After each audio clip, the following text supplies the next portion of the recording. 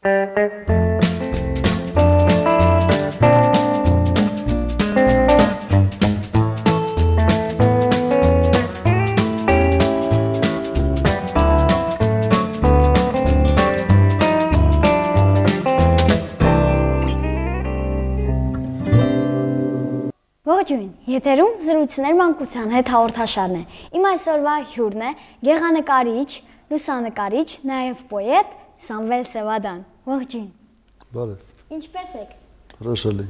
Մենք այսօր զրուցելու ենք, ես կարծում եմ նաև ձեզ համար շատ հետաքրքիր մարդու կյանքի մի этаպի մասին, որի անունն է մանկություն։ Այ ինձ հետաքրքրում է, երբ պետք է ընկնել մանկության հուշերի գիրկը, ինչ եք զգում։ Երկը երանություն եմ զգում, որովհետև միշտ միշտ երազում եմ վերադառնալ դեպի մանկություն։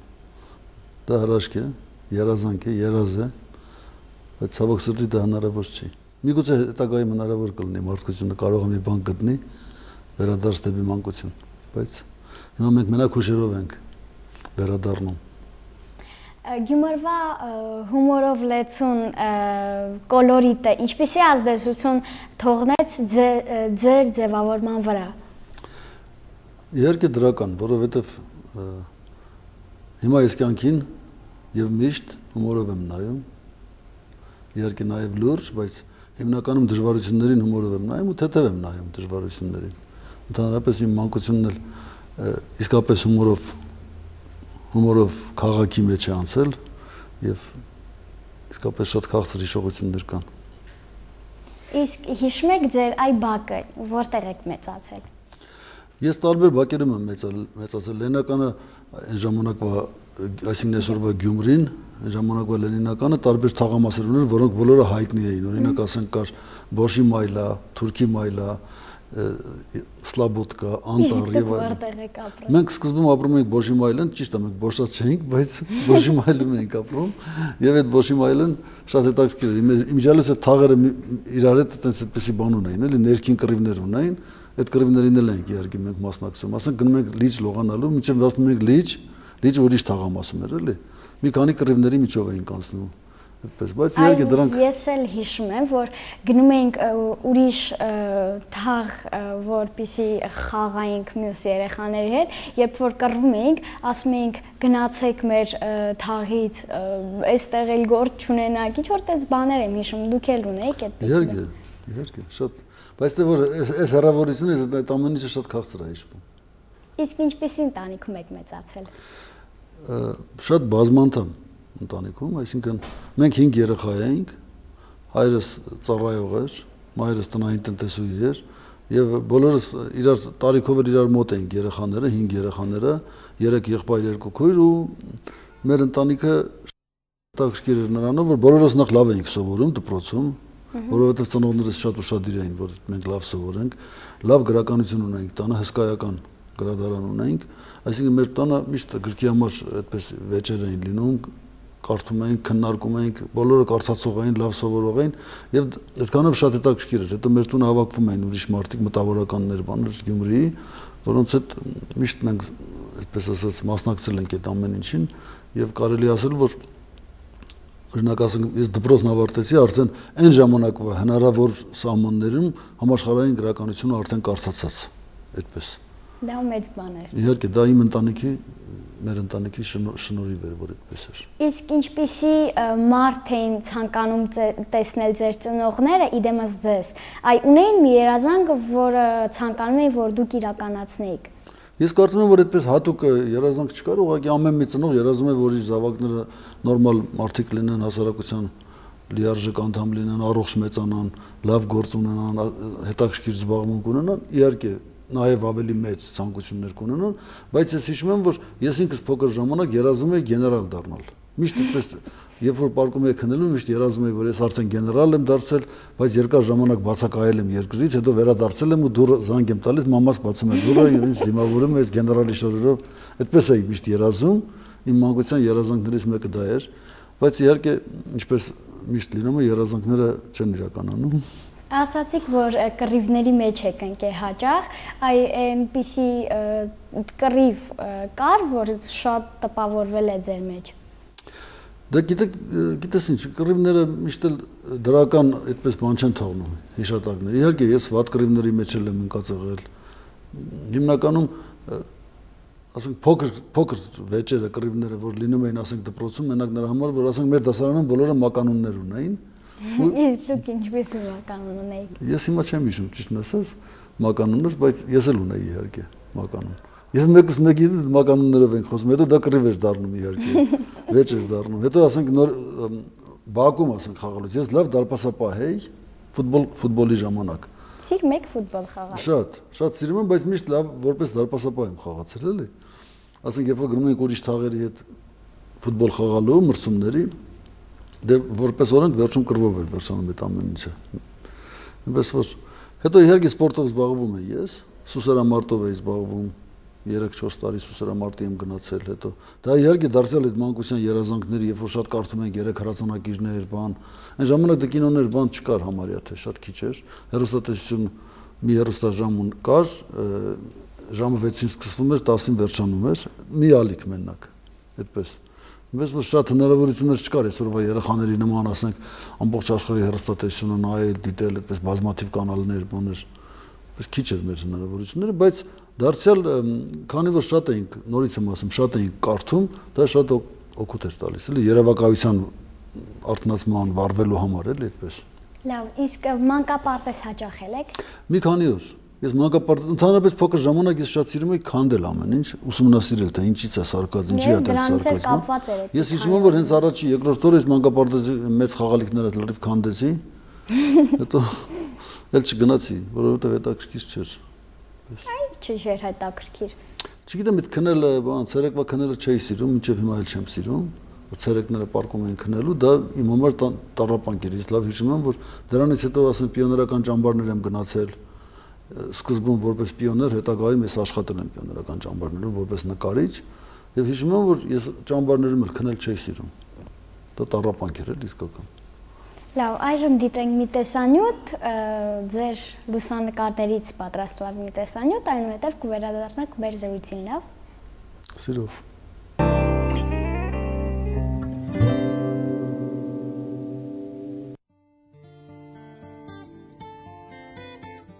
Երբեմն Աստվածի շնորհերը շռայլում է մարդկանց, ու այդպիսի երջանիկներից է Սամվել Սևադան։ Գեղանկարիչ, լուսանկարիչ, պոետ եւ պարզապես լավ մարդ, հիանալի ընկեր։ Դեռ մանկուց նրա խորաթափանց աչքերում դրոշված էր իսկական արվեստագետին հարիր իմաստայնությունը։ Իսկ արդեն պատանեկության տարիներին արվեստը առավել ցայտուն դարձավ նրանում։ Սամվել Սևադան յուրօրինակ հայացքներ ունի կյանքի հանդեպ, ու այդ ամենը արտացոլված է նրա բանաստեղծություններում։ Նրան շրջապատող աշխարհը լի է գույներով եւ կյանքով։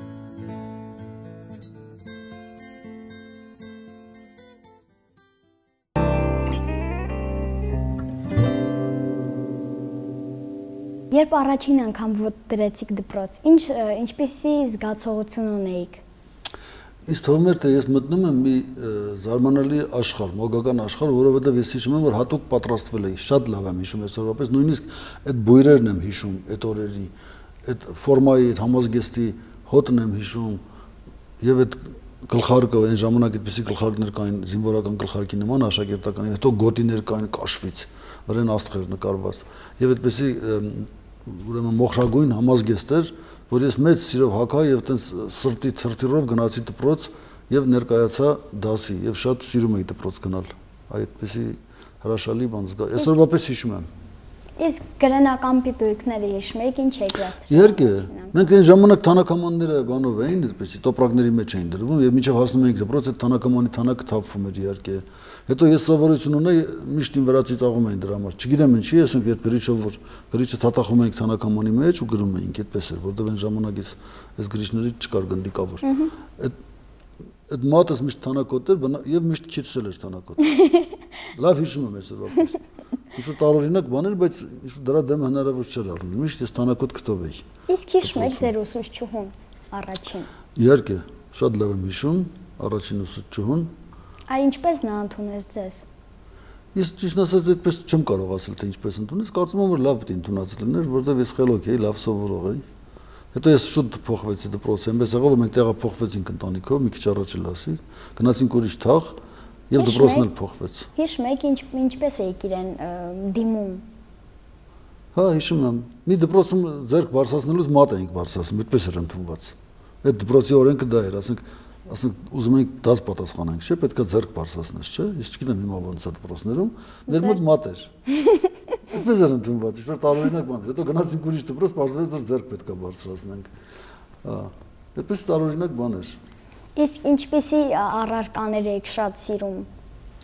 Շատ սիրում էի իհարկե, ասենք գրականություն, ռուսաց լեզուն էի շատ սիրում, որովհետև սիրահարված էի ռուսաց լեզվի դասատուին փոքր ժամանակ հետո ու հիմնականում պատմություն էի շատ սիրում ու բնականաբար այդպես հումանիտար առարկաներ ֆիզիկա մաթեմատիկա ատոմ էի չէի սիրում իսկ ինչու ինչու էր դա կապված ըստ երևույթին կապված էր մինչև 8-րդ դասարան գերազանցիկ էի բացարձակ գերազանցիկ սովորում էի հետո 8-րդ դասարանում մեկից սկսեցի այդ մաթեմատիկան իմիջիալս մաթեմատիկան այդպես է եթե չես սովորում մի քանի դաս բաց թողնես, բավական է որ արդեն հետ մնաս։ Դրանից հետո նորից միանալը շատ դժվար է։ Ես կարծում եմ, որ ոնց որ թե կարծում չփորձեցի էլ միանալ։ Այդպես հետ մնացի, բայց սովորում եմ իհարկե, այդպես չէ։ Դպրոցը լավ լավ ավարտեցի նորմալ։ Իսկ օրագրում որ գնահատականներն էին գերիշխում։ Ես ասում եմ, մինչև 8-րդ դասարան բացարձակ գերազանցիկ էի։ Միշտ գովասանագրեր էի ստանում գերազանցիկի։ Իսկ երկուս երբևէ չեք ստացել։ Ինչու՞ չէ։ Շատ Այ ինչի պատճառով դա չսովորելու, տետար չբերելու։ Դե ընդհանրապես չէ, այտենց անպատասխանատու բաներ չունեի, բայց մեկ-մեկ դինում էր, որ ասենք, անպատրաստ էի լինում հանկարծ։ Իսկ վարքի համար անգիրը չես արել։ Վարքի համար երբևէ ստացել եք։ Վարքի համար անտեղի եմ ստացել պատիժ։ Օրինակ ես հիշում եմ, որ ես դնկարշական էի գնում եւ լավ ծաղրանկարներ էի անում դպրոցում, հետո էլ ուսանող ժամանակ էլ շատ էի տպագրվում Այդ ժամանակ մեր բոլոր դասատուների, մեր դասարանի բոլոր երեխեքին ծաղրանկարներ, ընկերական շարժ էր կոչվում դա։ Համես մի քիչ ծաղրական ծիծաղալու նկարում ես, բայց իրան շատ նման էլի։ Ու բոլոր դասատուներին նկարել էի, հետո դա դասամիջոցներին դառնում էր ծիծաղի առարկա, հետո դիրեկտորին էլ էի նկարի, որը մեզ դաս էր տալիս։ Ու երևույթին իրան ասել էին, թե ինչ, բայց դասի ժամանակ իմ կողքի աղջիկն ասեց, ասեց Սամվելը դու մի հատ նայեմ էլի բան, բայց վախում ենք այդ դպրոցի դիրեկտորից տղամարդ էր նես ուժեղ։ Նավաստիր եղել, ստա դաջված կուներ նա բանը, յակր բան։ Այդ աղջիկը վերցրեց նայեց, ասենց համեմատեց ու սկսեց ծիծաղել, մեկ էլ այդ դիրեկտորը ասենց մեր դասատուն ասեց։ Ինքը տենց էր էլի խոսում, մատով կանչեց մոտիկ։ Ես դողդղալով վեր կացա, ասենց ցույց տվեց, ասեց։ Իբր տետրն էլ բեր էլի։ Այդ տետրը տարա, բացեց կամաց, ասենց թերթում հա, նայում է, բան եկան հավասավ իրան նկարի, ասես փակեց ու ասես դուրը փակիր մյուս կողմից։ Դասարանի դուրը, այսինքն դուրս հրավիրեց ինձ։ Ու ես դες դուրս եկա շատ վիրավորված, բան, հետո մի քանի օր ինձ դպրոցից վտարեցին, այդպես։ Հետո արդեն միացաք։ հա։ Այժմ դիտենք մի տեսանյութ, որտեղ նկարահանվել է Երևանում ձեր հիմնադրած արվեստանոցի սաներից մեկի մայրը Լիլիա Թորոսյանը։ Դիտենք։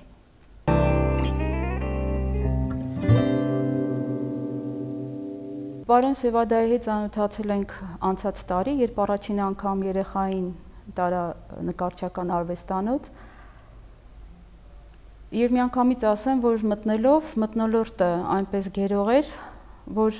անգամ հետաքրքիր էր ոչ միայն երեխայի համար մնալ նկարելը, այլ նաև մեծ ծնողներիս համար ինքնատիպ անձնավորություն է եւ ծանոթանալով նրա արվեստին ավելի լավ ես զգում, որ վստահում ես երեխայի նման արվեստագետի, նման մանկավարժի, որը կարողանում է մեծ հմտությամբ դաստիարակել երեխաներին։ Այսինքն ծնողի գործը շարունակում է պարոն Սևադան արվեստանոցում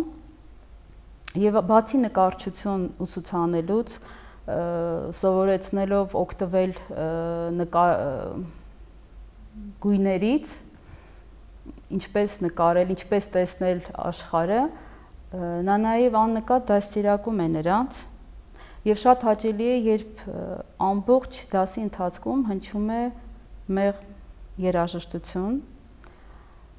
եւ այդ երաժշտությունը parberabar փոխվում է եւ երեխաները իրենք էլ չեն զգում թե ինչպես են լիցքաթափվում, ինչպես են լսում, սովորում են լսել երաժշտությունը եւ այդ երաժշտության հնչյունների ներքո նկարել եւ պիտի խոստովանեմ, որ մենք ինքներս էլ երբ սպասում ենք մեր երեխաներին, մենք էլ լիցքաթափվում ենք եւ շատ նոր բաներ ենք սովորում։ Հետաքրքիր է պարոն Սևադայի շփվել է երեխաների հետ։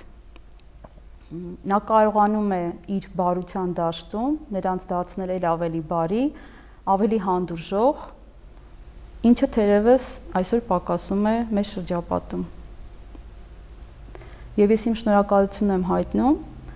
որ ծանոթ ենք նրա նման մարդուն եւ վստահում ենք մեր երեխաներին նրան։ Եվ հուսով եմ, որ մեր երեխաներին լավ ապագա է սպասվում։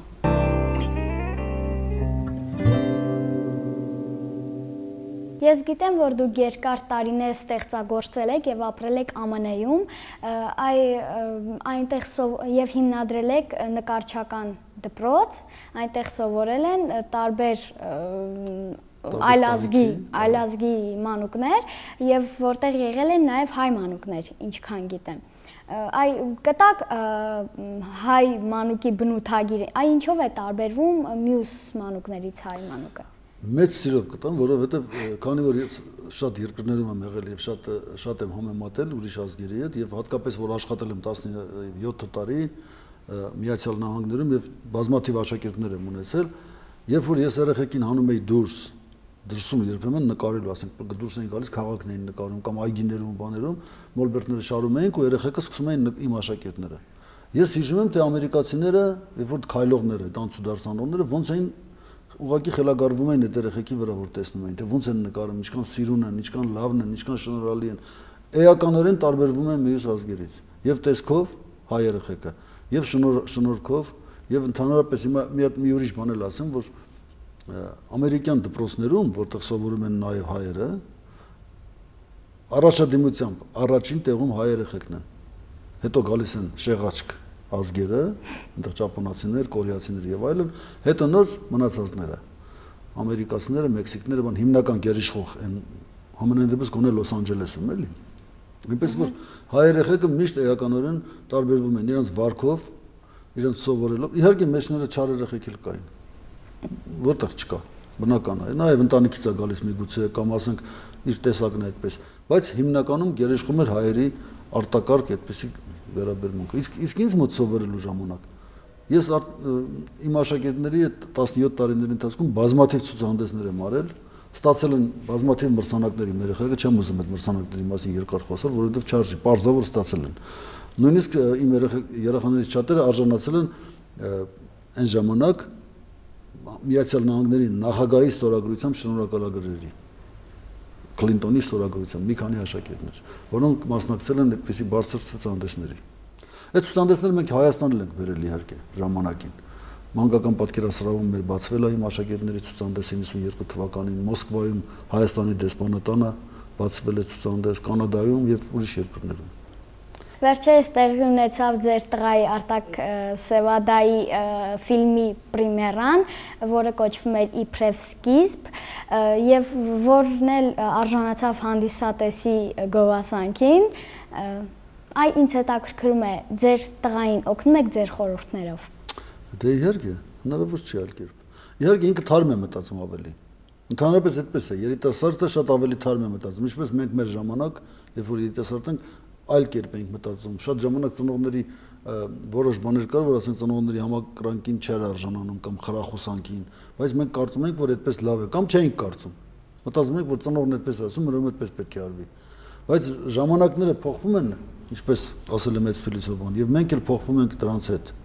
Այնպես որ մեր զավակներն էլ սկսում են ավելի թարմ մտածել։ Հիմա արտակի ֆիլմերը դա երրապատում էր իբրև սկիզբ, որ կոչվում էր, այնտեղ 3 ֆիլմեր Երեքն էլ շատ հետաքրքիր են, մեկը մեկից տարբեր եւ միևնույն ժամանակ մի կարմիր թել կար նրանց մեջ, որ անցնում է։ Նրանցից մեկը իմ հորս պատմած պատմություններ իր կյանքի մասին, որը արտակը վերցրել էր ու դարձրել էր գեղարվեստական ֆիլմ, կապելով այսօրվա հետ 30-ական թվերի անցուդարձը, այսօրվա անցուդարձերի հետ եւ հետաքրքիր մի շաղախ էր ստացել այդպեսի։ Իսկ կպատմեք ձեր այսօրվա ընտանիքի մասին։ Ես հիմա իմ ընտանիքից հեռու եմ, որովհետև ընտանիքս գտնվում է Միացյալ Նահանգներում եւ ունեմ 3 տղա, 1 աղջիկ։ Նրանցից մեկը 17 տարեկան է Դավիթը, որը դպրոցական է, իսկ տղաներս եւ աղջիկս արդեն ամուսնացած են, ունեմ 5 թորնիկներ, հրաշալի, կոնոման գեղեցիկ եւ ունեմ մայր, որը հիմա մի քիչ հիվանդ է, վիրահատել են մամային, կարծում եմ որ հուսով եմ որ շատ լավ կլինի եւ համոզված եմ։ Եվ տղաներս ուրեմն արվեստի մեջ են, աղջիկս էլ բոլորը ավարտել են Նորթրիջի համալսարանի տարբեր ֆակուլտետներ, կոմպոզիտորական, ռեժիսորական եւ աղջիկս ավարտել է արվեստաբանության ֆակուլտետը եւ զբաղվում են արվեստով բոլորն էլ երաժշտությամբ հիմա հիմա տղայի CD-ներն է լույս տեսնում Հայաստանում մի քանի օրից 3 CD-ների միասին այնպես որ Իսկ կպատնեք ձեր թորնիկների մասին։ Թորնիկներս ինչպես ամեն մարդու համար իր թորնիկները հրաշք են։ Ունեմ թորնիկներ Լուսինա, մեծ թորնիկս է, որը որին ես զանգել եմ մի քանի օր առաջ եւ հետո խոսում էի, ասում էի Լուսին ջան, ո՞նց ես, ասում եմ, լավ եմ, բա դու ո՞նց ես, ասում եմ, ինչ ես անում ինձ ինձ հարցնում, ասում եմ, քեզ եմ կարոտում, ասում եմ, է քեզ ասա, որ թողեցիր մեզ տեղ գնացիր Հայաստան։ Այդ Լուսինն է, հետո Ագաթն է, աղջիկ։ Հետո ունեմ թորնիկներ, որոնք իմ աղջկաս ամուսինը իտալացի է, բայց արդեն հայ է դարձել, դա էլ ասեմ, շատ լավ հայերեն խոսում է, գրում է, այդպես։ Եվ երեխաներին բերել են Հայաստանում կնքեն։ Ահա Դրա նրանց երեխաների անուններն են Enzo, բայց այսպես է, Enzo Sevada de Cunto, middle name որպես։ Եվ հրաշալի երկու տղա ունեն եւ մի լուսավոր աղջիկ։ Իսկ պատմեք մի զվարճալի դեպք կապված ձեր թորնիկների ու ձեզ հետ։ դե,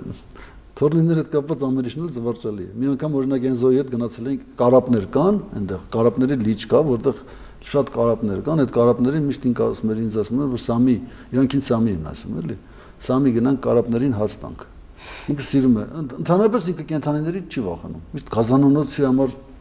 ուղղակի շատ է սիրում գազանանոց, գազաններ, փողոցում էլ մեծ շներ էլ տեսնի չի վախենում, ինքը մոտենում է շան հետ խաղում է, խոսում է, բան։ Հետաքրքիր երեխա եւ ոչ մի կենթանի իրան վնաս չի տալիս իր այդ ներքին հանգստությունը, ինքնավստահությունը բերում է նրան, որ այդ կենթանիները հասկանում են, որ ինքը իրանց սիրում է։ Իր բոլոր խաղալիքները կենթանիներ են, իր բոլոր շորերի վրա կենթանիներ են նկարված։ Ամեն ինչ, ես ստեղծել եմ իրան կենթանիներ, խաղալիքներ ուղարկում։ Եվ այդ կարապներին ինքը շատ էր սիրում հաց տալ, միասին գնում էինք, տես բուլկիներ էինք տանում, որ ինքը այդ կարապներին հաստատ մի անգամ ընկավ ցեխերի մեջ, հասավ կարապներին, այնտեղ չգիտեմ ինչ, չհասկացանք թե ինչ ջրափոս էր, ինչ էր երախան ընկավ այդ ու լրիվ շորերը ցեխոտվր ու հոնգուր հոնգուր լաց էր լինում ու այդպես ձերքից բռնած նորից հետ բերեցինք ոչ մի անգամ չի մոռանում ինքը այդ պատմությունը Լավ, հիմա էլ պետք է մի տեսանյութ, որտեղ նկարահանվել է Համլետ Խաչատրյանը։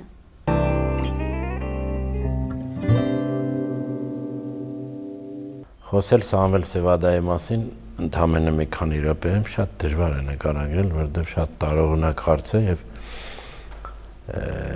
ճիշտ ասած չեմ էլ կարողանում կենտրոնանալ եւ այդ մի սերմ բառն ասել, բայց առաջինը ինձ Սամվել Սվեադայի մեջ, որ ես նկատել եմ դեր շատ վաղուց,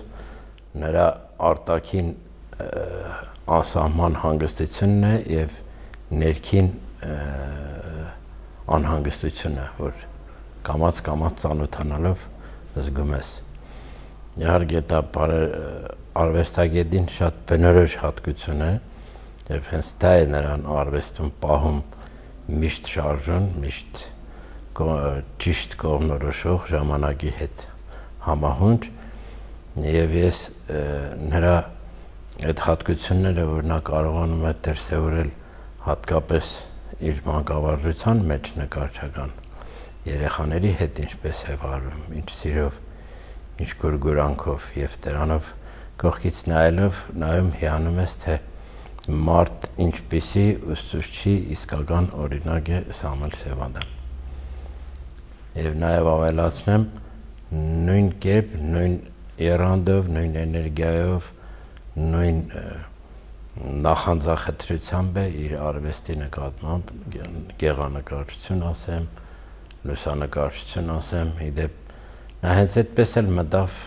կյանք ուսանողության տարիներին նրա մեջ այդ երկու ուղություններն էլ գեղանկարչությունը, լուսանկարչությունը եւ հետագայում ավելացավ նաեւ բանկավարժությունը այդ երկուսի զուգահեռաբար թե այստեղ, թե Ամերիկայում, թե ամենուր իր հետ է եւ կարծեք թե դրանից անբաժան է։ Այս գործով զբաղվել ամեն մարդու տրված չէ թե թե բախտի, թե տաղանդի, թե հանգամանքների, թե ժամանակների այդ բոլորը իրար հետ միասին նա կարողանում է իր սիրած գործով զբաղվել եւ զբաղվել այնպես, ինչպես որ ինքն է ուզում։ Դա Աստված, որ այդպես շարունակվի, որովհետեւ Սամվել Սևադա մարդ եւ արվեստագետը մի կուր միասնություն են դրան ավելացած նաեւ նրա մարդկային ուրիշ հատկություններ, որոնց ամենակարևորը ես կկարևորեի իր ընկերասիրությունը եւ շրջապատի նկատմամբ իր նոր վերաբերմունքը։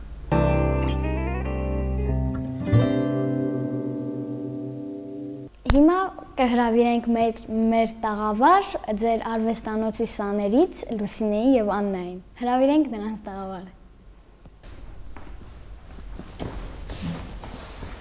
Բարև ձեզ։ Բարև ձեզ։ Սիրուն եք այսօր։ Լավ։ Իրանք միշտ էլ սիրուն են, այսօր ավելի։ Երբ առաջին անգամ տեսար Սամվել Սևադային, ինչպիսի տպավորությունն է գործեց քո վրա։ Ես երբեք արվեստանոցում չէի եղել եւ երբ առաջին անգամ մտա Սամվել Սևադայի արվեստանոց, ինձ դուր եկավ այնտեղի մտնոլորտը։ Ես մի անգամից տեսա նկարակալները, որի վրա փակցված են գեղեցիկ նկարներ, իսկ դրանք երեխաների աշխատանքներն էին ես լսեցի երաժշտություն, ես ծանոթացա գույների հետ, ձեռք բերեցի նոր ընկերներ։ Ես ես ես ուրախ եի, որովհետև ծանոթացա մոտիկից ծանոթացա նկարչի հետ, որ, որը իմ ուսուցիչն էր։ Պատմեմ, որ դուք շատ մեծ դժվարությամբ եք հրաժարվում նկարչությունից եւ շատ դժվարությամբ եք հեռանում արվեստանոցից։ Այլ պատճառ պատճառն ինչ է, կասես։ Որովհետեւ այնտեղ շատ լավ է, մենք չենք այնքան լավ են անցնում դասերը, որ մենք չենք զգում թե ինչպես անցնում, ինչպես անցնում ժամանակը եւ եւ միջև մյուս խումբը չի գալիս, մենք չենք հասկանում թե երբ է մեր դասը վերջանում։ Ճիշտ են ասում, որովհետև իրանք երկուսն էլ Աննան եւ Լուսինան իմ ամենալավագույն աշակերտներից են, բազմաթիվ աշակերտների մեջ եւ մեծ հաճույքով եմ աշխատում իրանց հետ եւ իրանք էլ իրանց ընկերների հետ իսկապես դժվարությամբ են գնում արվեստանոցից, որովհետև շատ են սիրում նկարել եւ շատ լավ էլ նկարում են։ Այս վերջին ցուցահանդեսի ժամանակ իրանք մասնակցում են այդ ցուցահանդեսին եւ հիմա էլ մենք պատրաստվում ենք հաջորդ ցուցահանդեսին։ Իսկ պատմեք ձեր արվեստանոցի մասին։ Իմ արվեստանոցը կարծում եմ տեսնել եք պետք նախ եւ առաջ։ Շատ լուսավոր է, շատ գեղեցիկ, շատ հարմարավետ, միշտ հնչում է կլասիկ երաժշտություն, եւ ընդհանրապես ժամանակակից լավ երաժշտություն, մաքուր, ճիշտ երաժշտություն, որի տակ երեխեք աշխատում են միշտ։ Ինձ օգնում է Մարինեն, որը նկարչուհի է, շատ լավ աշխատում է երեխաների հետ եւ երեխեքն էլ տարբեր տարիքի, ոչ միայն փոքրեր, այլև իրանցից էլ փոքր եւ իրանցից էլ ավելի մեծ եւ նույնիսկ մինչեւ 30-35 տարեկան տարբեր դասարաններում, այսպես ասենք, տարբեր խմբերում գալիս են, նկարում են, մասնակցում են եւ կարծում եմ որ բոլորն էլ շատ ուրախ են։ Ես ինքս էլ շատ ուրախ եմ երեխեքի հետ աշխատելու։ Դե ձեզ շատ հաճելի էր։ Ցավոք մեր հաղորդումը մոտեցավ իր ավարտին։ Ցտեսություն։ Շատ շնորհակալություն, ցտեսություն։ Շնորհակալություն ենք հայտնում նաև Էկո գեղեցկության սրահին։ Ձեզ հետ ինչպես միշտ Էրիկաներ։ Ցտեսություն։ Մինչ նոր հանդիպում։